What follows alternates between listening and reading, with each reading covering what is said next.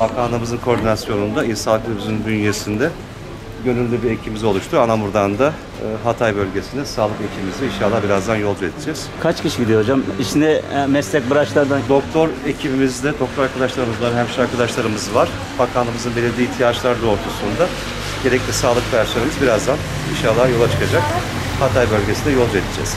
branş ağırlıklı olarak hangi branşlardan hocam? İhtiyacı olan doktorlar ve hemşire arkadaşlar, sağlık personeli. Evet.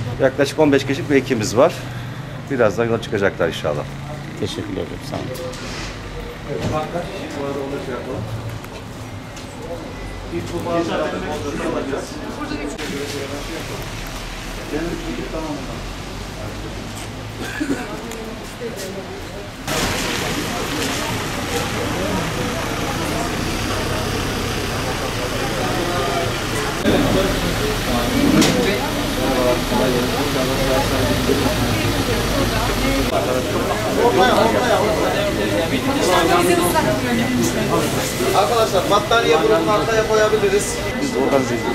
İkinci ekiple gideceğiz biz. Öyle mi? Tamam. Allah'ım yolunuz açık etsin inşallah. Onu şu arkaya koyabiliriz şu çantaları. Hocam üstünde ör- üstü örtüler.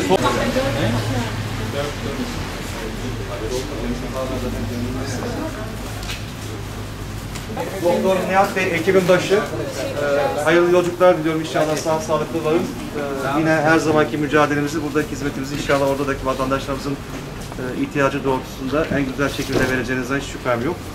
Ee, yine yol içerisinde zaten haberleşiriz. Allah kolaylıklar versin. Tekrar görüşmek üzere arkadaşlar. Allah'ım yardımcınız olsun inşallah. Hocam Allah yardımcınız olsun. Neler söyleyeceksiniz hocam?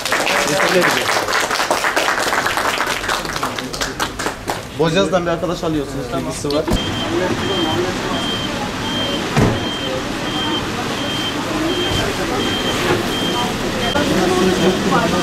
Evet buranın sayısı nasıl arkadaşlar? Bizim Hocam burası 5 kişilik.